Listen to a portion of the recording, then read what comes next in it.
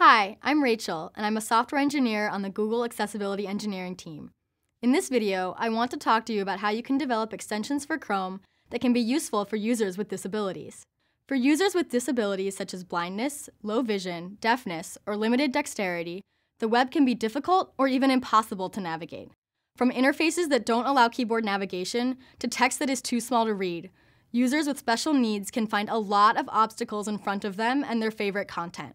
Chrome browser extensions can help by enabling users to customize many aspects of the browser and the web.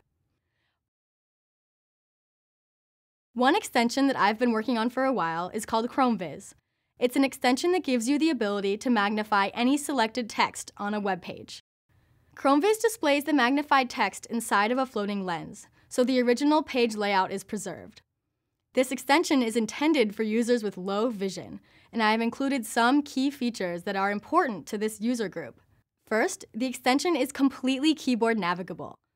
You can move the selection around the page without ever touching the mouse. You can use keyboard shortcuts to specify whether you want to move the selection by paragraph, sentence, word, or even character. Second, both the lens text color and the lens background color can be changed. This is also done through keyboard shortcuts. This way, you can adjust the lens to achieve your desired contrast between foreground and background. And you can save several different combinations of foreground and background color. Finally, we included two layout options for the lens display. You can keep the lens anchored at the top of the window while scrolling the page underneath it, or you can make the lens appear directly above the selected text, enabling you to see the magnified text in its original context. The ChromeVis options page is an important part of the extension. Here, you can change the lens colors as well as specify your own keyboard shortcuts.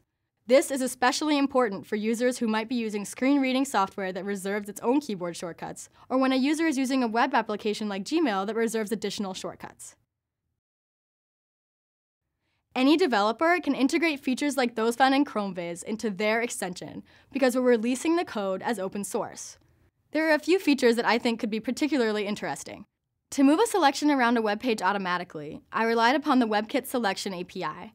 I call selection.modify whenever I want to move a selection forward or backward in the page, and wrapped this call into the function's next element and prev element. I also did some additional work to clean up the selections that selection.modify produces to ensure logical movement between div blocks, so that blank text nodes or spacer nodes are not included in a selection. It was actually a non-trivial problem to determine the position of selected text, because text nodes do not have position attributes.